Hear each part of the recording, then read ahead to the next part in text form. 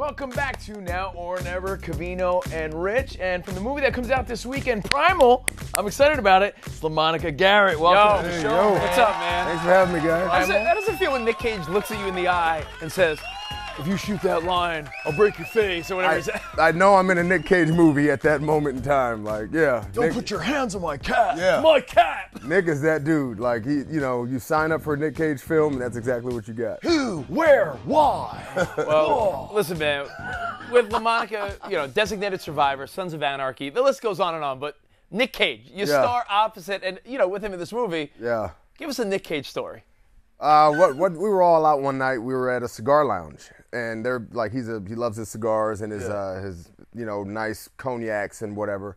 And we were, um, what was it, Louis the Thirteenth? I've never had Louis. It's like expensive, crazy expensive.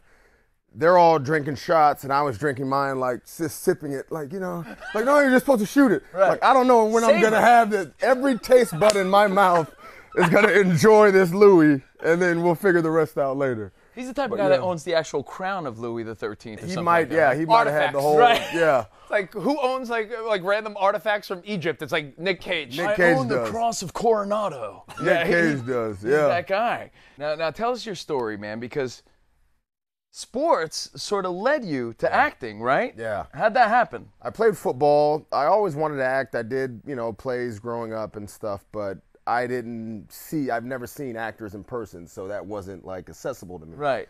But I grew up behind candlesticks, so I used to go to the 49er games with my parents, and, you know, like, I see Jerry Rice, I see Ronnie Lott, like, I can be those guys, I can touch them. And, you know, I got older, I played football, I did, you know, I did pretty well, went to college, and um, worked out in the NFL, and it didn't work out for me, but But you did well, right? I did well. Like I got there the year after I came out. Hugh Douglas came out the year before me, and he just set the NFL on fire. I think he was Defensive Rookie of the Year that year. So our pro day the next year, like Belichick was at our school, Marty Schottenheimer, like you know we were working out for everybody, so we all had a good look. But sports was in, in, in your blood from the get-go, though. Yeah, Yeah. Your, your, your parents were big sports fans. In fact, you were you were named after. I was named after Daryle Lamonica. Yeah, like Bay Area. He was like Brady back then, you know, like the Mad Bomber. So sports fans get it. yeah, we have something in common. Uh, My brother was named after Jim Plunkett. My mom was a Jim Plunkett Wow. Raiders fan. So Yeah. My brother James. What's the thing? Like everybody being named after the Raiders. Like I the, know. yeah, Raider. I think Jim Plunkett's his real dad.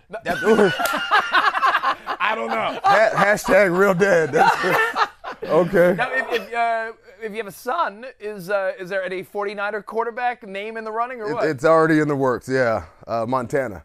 No way. Yeah, Montana's gonna be little Oh, man's that's so name. awesome. Yeah. So you can't take that now. Tell you what, uh, I'm a big Niners fan like you. Yeah. How do you feel about the team this year? Sunday night's a big one, man. It's Monday night. I'm sorry, Monday night. Yeah, Monday night. It's it's a huge one. Like it was. Uh, I think the the first biggest one was uh, Carolina. Yeah. And we showed up.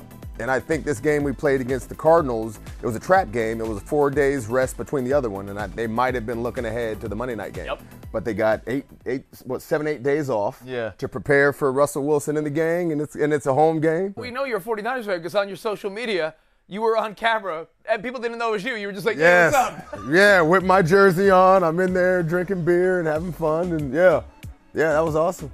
That is That was my first time at Levi. Yeah, Now, I'll tell you what, you were also in a commercial playing Adrian, Adrian Peterson? I was playing my buddy Isaiah Mustafa, the Old Spice guy. Yeah. He was doubling Adrian Peterson. you were- and I was a like a defensive back. It was a stunt we had where he had uh, some weird stuff going on, but like David Fincher was the director, and I had to do one of the stunts. But Adrian Peterson was there, and like we did commercials before we really got into acting, like to pay bills. And we did all these football commercials, like year after year after year. They took all these ex football guys, and we did all the crazy stunts. I had one stunt. It was insane. It was with Shawne Merriman, like back when his like you know the switch, you know, lights out guy. Yeah. I was a running back, and we were filming at the Rose Bowl, so it was me like going over the pile. I've never been hit so hard in my life. He earholed me, and I'm like laying on the ground, and I just see all these faces come in, like, you know, I'm like, did we get it? Did we get it? I was like, oh, that was awesome. I'm like, oh man, turn my, oh you know, God. and I'm looking around like, where's Shawne? I want to tell him like good stuff. He was back in Video Village with his legs crossed, like just hanging out. like He's a big ever- guy. He's been on this show twice. That dude was huge. He was working out with The Rock recently, and they're like the same Yeah. size. So yeah, yeah, that, that that was when I was like, I gotta I got to get a job. Like I got to get on a show or something because, yeah, my insurance ain't gonna keep covering this. Dude, I went to your IMDb. You've been in everything. You've been in so many things. I, yeah. so many things that we think you might not remember all of the lines. So you want to play a game? Let's play a game. It's called I'm uh, scared to I play love this it. game. Guess right That Line with All right, let's LaMonica. Okay. Garrett. We name a line. We'll read it to you. Okay. You tell us what movie or show. All right. Yeah. See how good you are. I will start with, come on down. I'll introduce you. Daddy's home. Oh. Bam. Daddy's home. How was it with Mark Wahlberg, Will That was Ferrell? so what was that fun. experience like? Because we love that movie, man. Fun fact about that experience: we filmed halftime at the Pelicans game where the Lakers played. Right. and we had Kobe like before the game, like doing some stuff with us with Mark and uh, Will Ferrell. You know, it was a great time. And that game in the second half or the first half is when he tore his his shoulder, and he was done for the year after that. So we're all looking around like we kind of interfered with his warm up. Oh, like, wow. we, didn't have nothing to do with that, right? You know, like, Right. that wasn't us. Like it was just by chance, but. That was amazing working with those guys and being in that environment in New Orleans was it was fun. Great scene. And even the sequel is great. I love that movie. Yeah. Monica, let me ask you though, because you're you're an accomplished actor yourself, but when you're standing there and it's Will Ferrell, Kobe, Mark Wahlberg, you're like, who am I hanging out with? Is that, a- are those weird moments for you? I'm a fan before I'm an actor.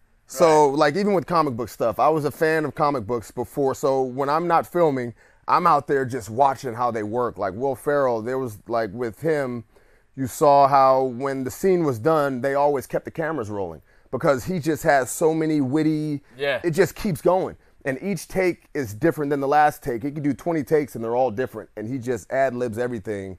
Like that's brilliance. You know what I That's mean? That's what I want to stick around and watch. All right, let's see if you know this one. Next one. And their porn studio is up and running too. Stockton Port. Stockton. That sounds of Anarchy. Sons of Anarchy. I heard Stockton. I was lost for a second, Right. then I heard Stockton. Now, you had a, a long arc on that show, Yeah. right? So you must get called out and recognized all the time for that. I do. I did, and that was pretty pretty much my first break. Yeah. if, you know, if Fans you call it that. about that? It was a yeah, they had the a cult following for SOA, Yeah. and um, I was supposed to do like two or three episodes, and it just kept going, and those were the you know that opened the door for every other thing that I was trying to get into that I couldn't before. SOA was So every time they kept writing you in, writing you in, you're like, yes. Yes. Nice. Yeah. Until you get the final script where you're gonna catch a bullet and you get a call from the producer the night before the table read. It's like, yeah, something you got to know. All right, I had a good run. Right, right, All right, here we go. Uh, how about this one? Respectfully, sir, if you don't move your feet right now, I'm going to pick you up and carry you. That was Mike Ritter. That was Designated Survivor. Designated Yeah. Survivor, and you were all about that I, show. I, I thought that show, that show, fantastic. Yeah, that was fun, man. That was uh, working with Kiefer was another one of those experiences. Like working with Nick, working with the SOA guys. Like these are professionals. These are seasoned veterans, and you just and you just learn absorb, from- right? Yeah. you learn a lot Yeah. from them. All right, one more. Survival will be found by knowing your true self. This world will be doomed like all others. Like all the others. Yeah, that's the monitor. That's uh, Arrow, Arrowverse, Elseworlds.